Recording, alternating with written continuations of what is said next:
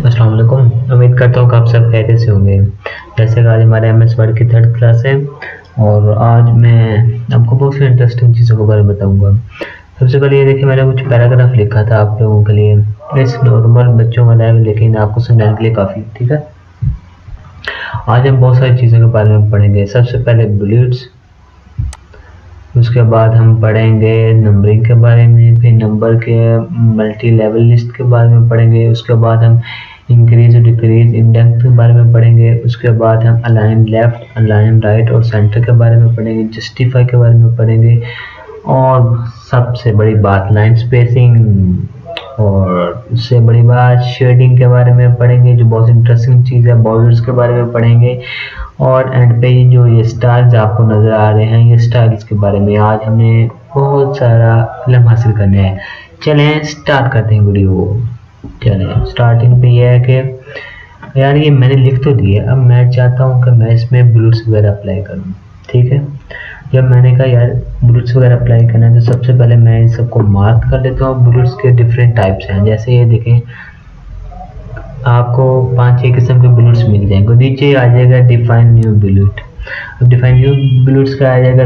Picture मांगेंगे हम picture लगा लेकिन अभी नेट नहीं आया सो पिक्चर नहीं आ सकती।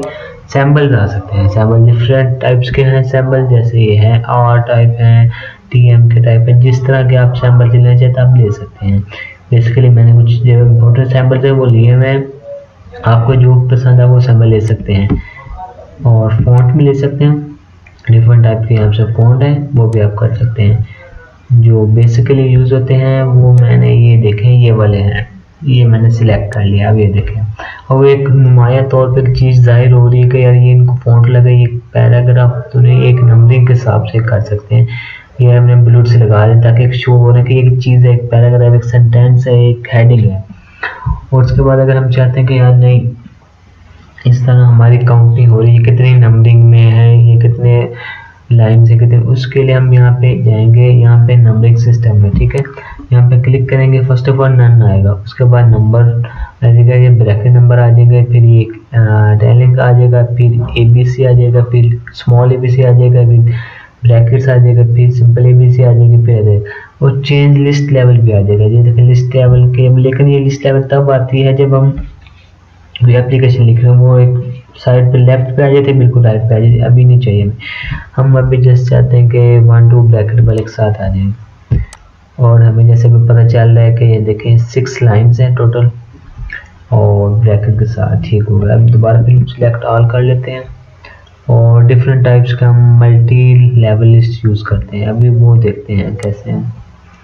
मल्टी लेवल लिस्ट तब यूज़ होता है जब हम कोई हेडिंग देखें उसके नीचे, उसके लिखना चाहते हैं पॉइंट्स लिखना चाहते हैं कि यार इसके इतने फाइव पॉइंट हैं, इसके सिक्स हैं, इसके फोर हैं, वो तब होता है। अभी हमारा पॉइंट नहीं है। अभी जस्ट हमने एक लाइन लिखी है। उम्मीद करता हूँ कि आपको बुलेट्स की और नंबरिंग की और मल्टी लेवल की समझ आ गई। बहुत इजी चीज़ है जस्ट जाके हमने बुलेट्स अप्लाई किए हैं, कुछ भी लगा सकते हैं वट एवर जो हमें प्यारे लगते हैं, जो खूबसूरत लगते हैं, वो कर सकते हैं। उसके बाद उसके बाद जाते हैं अलाइन लेफ़्ट अलाइन राइट और अलाइन सेंटर ठीक है? जो अभी हमारा जो ये पैराग्राफ है, जो ये लाइन है, जो हमारी साइड पे रखी हुई है, ये अलाइन लेफ़्ट पे पड़ी है। अगर मैं चाहता हूँ तो हमको अलाइन सेंटर में ले तो जस्ट कंट्रोल ई इसका शॉर्टकट की है अलाइन सेंटर का, और कंट्रोल एफ़ है जो सॉरी कंट्रोल एफ़ नहीं कंट्रोल एल है जो वो है लेफ़्ट का कंट्रोल आर है राइट साइड का, ठीक हो गया? अगर मैं कंट्रोल ई दबाऊँगा तो ये सेंटर में आ जाएगा। अगर मैं कंट्रोल आर दबाऊँगा, ये तो राइट साइड पे आ जाएगा। अगर मैं कंट्रोल एल दबाऊँगा तो फिर वो लेफ़्ट साइड पे आ जाएगा। ये है। कभी मैं चाहता हूँ इसको सेंटर में आऊँ और मैंने कंट्रोल ई दबाया सेंटर में आ गया। ठीक हो गया? अगर मैं चाहता हूँ सेंटर से थोड़ा सा डिक्रीज हो या इंक्रीज हो तो मैं थोड़ा सा इस पर क्लिक करता हूँ। ये थोड़ा सा इंक्रीज करता जाएगा। थोड़ा सा लेफ़्ट साइड पे। अब मुझे थोड़ा सा डिक्रीज हो राइट साइड पे थोड़ा सा मैं क्लिक करता जाऊँगा राइट साइड पे डिक्रीज होता रहेगा। ऐसे क्लिक किया, अब मैं थोड़ा सा डिक्रीज हो या इंक्रीज हो, ठीक हो गया? डिक्रीज इंक्रीज का यही है। अगर आप लेफ़्ट पे हैं तो थोड़ा सा राइट में डिक्रीज कर सकते हैं, अगर राइट पे हैं थोड़ा सा लेफ़्ट में डिक्रीज कर सकते हैं। ये इसका प्रोसेस मैं कहता हूँ आपको इस चीज़ों की समझ आ गई होगी। उसके बाद आ जाता है हमारा सबसे इम्पोर्टेंट लाइन स्पेसिंग जो कि सबसे इम्पोर्टेंट चीज़ है लाइन स्पेसिंग लाइन स्पेसिंग नहीं होगी तो बिल्कुल मज़ा नहीं आएगा। बेसिकली जो लाइन स्पेसिंग है, वो लाइन स्पेसिंग यूज़ हो रही है 1.0 और 1.15 की। और अगर हम इससे बढ़ते जाएँगे तो बिल्कुल अजीब सा लगेगा अनकम्फर्टेबल और अट्रैक्टिव नहीं लगेगा, क्योंकि हमने जो चीज़ बनाई, सबसे अट्रैक्टिव बनानी अट्रैक्टिव होगी, लोग देखेंगे। जब लोग देखेंगे तो पसंद भी करेंगे। तो इसलिए हम 1.15 की लेंगे, ठीक है? ये बेस्ट है।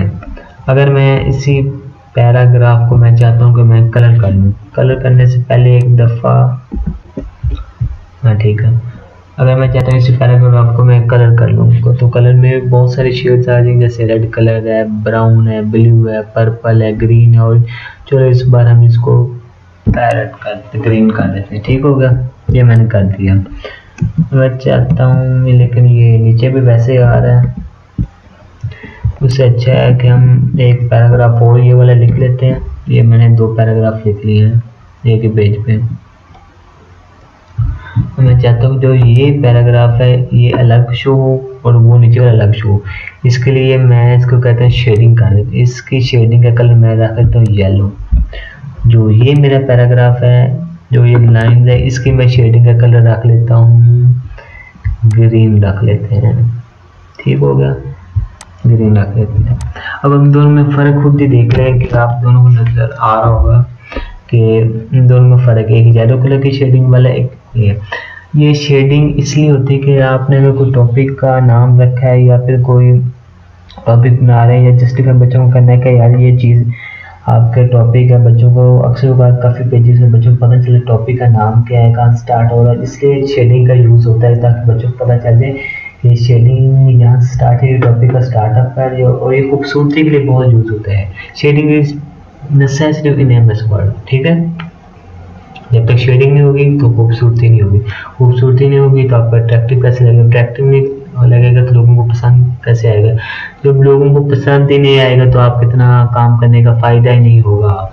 सो इसके लिए ज़रूरी है कि शेडिंग करें और डिफरेंट डिफरेंट कलर्स लगाएँ। जैसे हमने ये पहले पॉइंट्स वगैरह सीखे हैं। और और लाल सबसे बड़ी बात बॉर्डर जो तो मस्ट है, पहले हम इसको सिलेक्ट कर लेते हैं। अब बात हम कर रहे थे बॉर्डर के बारे में। चलिए इसको सिलेक्ट करते हैं।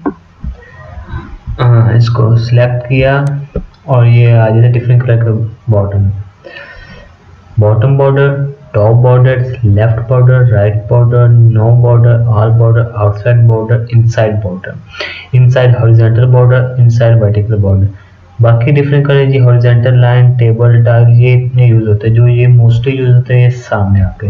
अब ये देखें, मैं एक दफ़ा रुकिएगा मैं आपको ऊपर कर दिलाता हूँ। ये top border sorry bottom border bottom border के नीचे ही आपको शो नीचे लाइन हो रही है। टॉप पे चले गए तो फ्रंट पे शो हो रही है। लेफ़्ट पे चले गए लेफ़्ट साइड पे शो राइट पे चले गए तो राइट साइड पे शो नो बॉर्डर किसी भी साइड पे नहीं बॉर्डर होगा। ऑल बॉर्डर आ जाएँगे, लेकिन ऑल बॉर्डर के ये हर लाइन के नीचे लाइन आ जाएगी और एक बॉक्स जैसे टेबल टाइप बन जाएगा।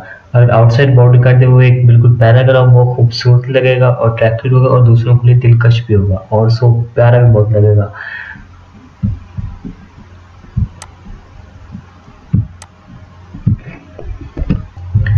और प्यारा भी बहुत लगेगा। और जिसकी वजह से आप का जो पैराग्राफ होगा, जो आपने लाइन होगी, जो भी आपने किया होगा, वो बहुत ज़्यादा खूबसूरत लगेगा। अब हम अगेन रुकिएगा। बॉर्डर पे क्लिक किया। आउटसाइड बॉर्डर कर देते हैं। अब ये देखें, दोनों पैराग्राफ में फ़र्क आ गया कि नहीं? एक पैराग्राफ सेपरेट शो हो रहा है, एक अलग शो हो रहा है। अब इसी पैराग्राफ को अगर मैं सिलेक्ट कर लेते इसका भी हम बॉर्डर लगा देते हैं। इसका बॉर्डर भी हम इन आउटसाइड का लगा लेते हैं। लेकिन ये कुछ और ही शो कर रहा है।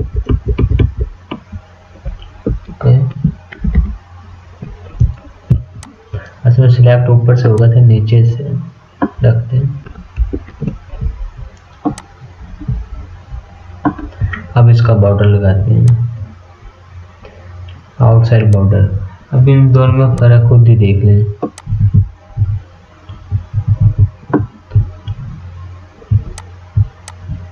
दोनों में फ़र्क देख लें आप। दोनों सेपरेट बॉटल लग रहे हैं और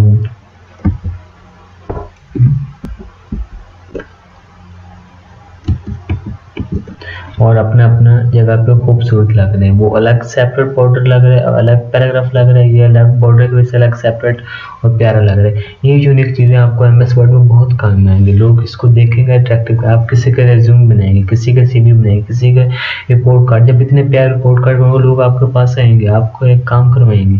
इसलिए बहुत ज़रूरी है सोच समझ के इन चीज़ों में देखना चाहिए। अगर इसको सिलेक्ट ऑल करता हूँ और सिलेक्ट ऑल करने के बाद यहाँ पे आ जाते हैं डिफरेंट स्टाइल्स के पैराग्राफ जिस टाइप के पैराग्राफ आ ये नॉर्मल आ गया ये देखें, वो सारे जो हम शेड है वो ख़त्म हो जाते हैं। ये नॉर्मल शेड, जैसे भी हमने लिखा था, वो बिल्कुल सिंपल टाइप का आ जाता है।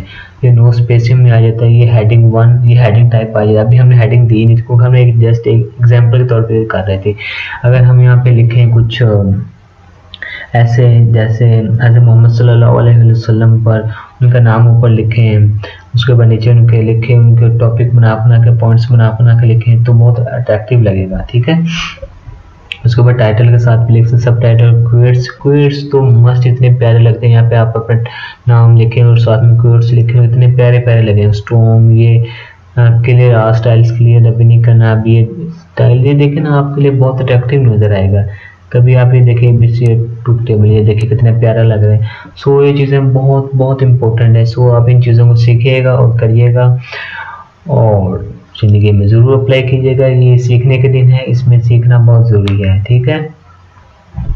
और उसके बाद हम करते हैं फाइंड फाइंड का शॉर्टकट की है कंट्रोल प्लस एफ़ इससे हम ऐसे वर्ड फाइंड कर सकते हैं जो हमारे पास फॉर एग्जांपल एक हज़ार पेज है। उसमें से हज़ारों लफ्ज़ लाखों लफ्ज़ लिखे थे लेकिन हमें पता नहीं होता कि यार ये लफ्ज़ कहाँ कहाँ लिखे हैं।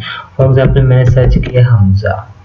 और मुझे उसने बता दिया कि टू टाइम्स हमजा लिखा गया इन दो पैराग्राफ के अंदर। आपको पता है क्योंकि पैराग्राफ ज़्यादा होते, ज़्यादा पेजेस होते तो हमजा हम कितनी दफ़ा ढूंढते नहीं मिल रहा था मिस्टेक ये नेविगेशन फाइंड का यही तो मज़ा है। लफज हम कहाँ भी लिखे हों। सर्च करें, वो टोटल का टोटल आ जाता है, ठीक है? उम्मीद करता हूँ आपको फाइन की समझ आ गई होगी, ठीक है? पूरे पैराग्राफ, पूरे जितना भी यहाँ पे वन पेज है बेशक लाख पेज हो, करोड़ों में अल्फाज हो, लेकिन आराम सुकून से मिलेगा। रिप्लेस का शॉर्ट फॉर्म है कंट्रोल प्लस एच रिप्लेस का मतलब जैसे ही हमजा लिखा, हमजा को मैंने रिप्लेस किया एच मेरी अहमद के साथ। सॉरी अहमद के साथ। अब मैं रिप्लेस आल करूँगा टोटल हमजा है, हम कहते हैं we made one replacement you want to continue searching for the B yes वो all done made two replacement उसने कहा हमें दो रिप्लेसमेंट की हैं।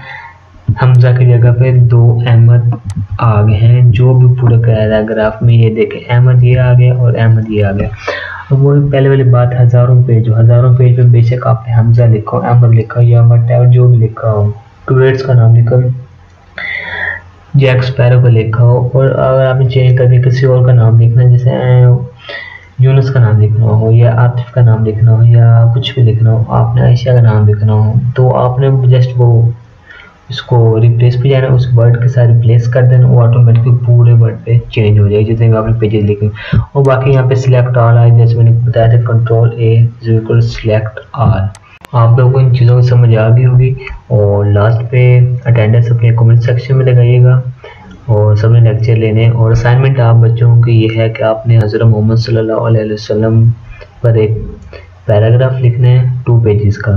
उसमें आपने हेडिंग देनी है बुलेट्स लगा के, उसके बाद बोल्ड करने हैं उसके बाद आपने उनका साइज़ चेंज करना है, उसके बाद डिफरेंट टाइप्स के जो आपने फॉन्ट वगैरह लगाने हैं, वो लगाइएगा, उसके बाद कलर वगैरह के, ताकि जो हेडिंग वगैरह आप दें, वो पता चले कि एक हेडिंग बच्चे ने दी खूबसूरती के साथ आपने इसको तैयार करके हमारे जो ग्रुप में दूसरे टीचर्स हैं, उनको सेंड करनी है। तो और 24 घंटे के अंदर आप अपने असाइनमेंट सेंड करेंगे, तभी आपको रिज़ल्ट मिलेगा। और इसी असाइनमेंट की बना पे आपका रिज़ल्ट कार्ड इशू किया जाएगा। सो 24 घंटे के अंदर वीडियो देखिएगा और इसी के अंदर अपने असाइनमेंट जमा करवाइएगा। असाइनमेंट फिर से सुन लें। हज़रत मोहम्मद सल्ला वसल्लम पे आपने एक पैराग्राफ लिखना है उनकी ज़िंदगी पर। और इसमें आपने बोल्ड करना है, उसके बाद फॉन्ट यूज़ करने हैं डिफरेंट स्टाइल यूज़ करने हैं अंडरलाइन करने अगर जो हेडिंग आप देंगे हेडिंगों के साथ लिखने हैं डायरेक्ट पैराग्राफ हेडिंग के साथ साथ पैराग्राफ लिखने हैं, ठीक है? डिफरेंट कलर्स देने हैं, उनको अलाइन करना है अलाइन लेफ़्ट करना है अलाइन राइट करना है, उसके बाद उनको शेडिंग वगैरह करनी स्पेसिंग देखनी उनकी जस्टिफाई करना है बॉर्डर वगैरह दे के अगर कोई प्यारा लग रहा है तो उसको बॉर्डर वगैरह देनी है। जो भी है आपने सब असाइनमेंट जमा करवाने चौबीस घंटों के अंदर, ठीक है? अपना ख्याल रखें दुआ में याद रखिएगा। अल्लाह हाफिज़।